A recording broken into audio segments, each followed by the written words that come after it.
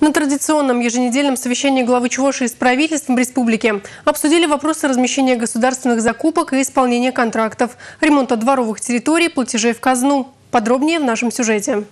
Чувашия по эффективности региональных закупок на четвертом месте среди субъектов Российской Федерации, на первом в ПФО. Результат 2015 года нужно, если не улучшить, то уж никак не снизить. По итогам первого полугодия текущего года объем закупок Чувашской Республики составил 7,9 миллиарда рублей. Бюджетная эффективность от закупок республики составила 521 миллион 700 тысяч или 9,3%.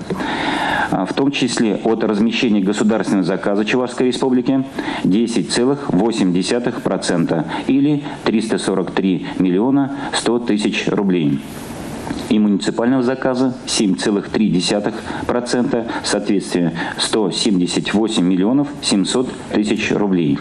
Конкуренция при осуществлении государственных закупок не изменилась и составила 2,7 участника на одну процедуру закупки. Между тем, есть подрядчики, которые, получив государственный или муниципальный контакт, выполняют его ненадлежащим образом, либо не выполняют вообще. Начиная с 2013 года заказчики выставили к уплате неустойки около 72 миллионов рублей. Причем 30 миллионов уже вернулись в бюджет. Ожидается, что в течение этого года поступит еще 16 миллионов рублей. Но, к сожалению, есть и такие, от которых вряд ли что-то добьешься. В реестр недобросовестных поставщиков уже внесены 35 организаций и один частный предприниматель. Глава глава Чувашии потребовал строже контролировать выполнение подрядчиками государственных и муниципальных контрактов. То же самое относится и к платежам в бюджет. На совещании рассмотрели ситуацию с двумя фирмами в Цивильском районе. Одна из них, общество с ограниченной ответственностью СВС «Строй», задолжала муниципалитету свыше 6 миллионов рублей. Администрация Цивильского района неоднократно предпринимает попытки взыскать образованную задолженность, направляет, направляет претензионные письма.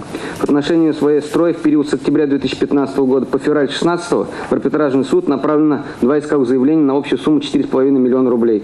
Судом исковые требования удовлетворены. Принято решение о взыскании арендных платежей.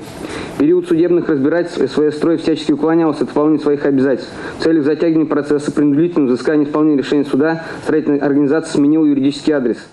Налоговики Чуваши предупреждают, с такими подрядчиками надо держать ухо востро. Компания СВ «Строй» заслуживает самого пристального внимания со стороны всех структур.